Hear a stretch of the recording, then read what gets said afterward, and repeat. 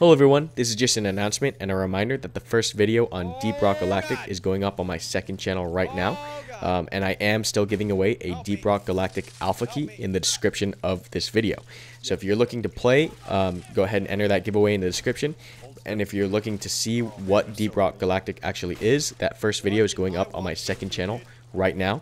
I'll leave a link on the top right corner of your screen right now.